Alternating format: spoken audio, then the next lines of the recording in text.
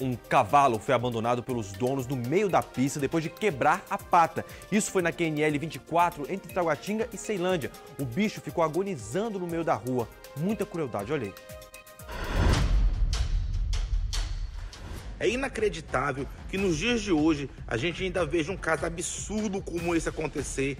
Gente, ó, o animal no meio da pista, o cavalo caiu, quebrou a pata, tá, tá lá com a fratura exposta, os carros passando e o dono abandonou o bichinho no meio da pista.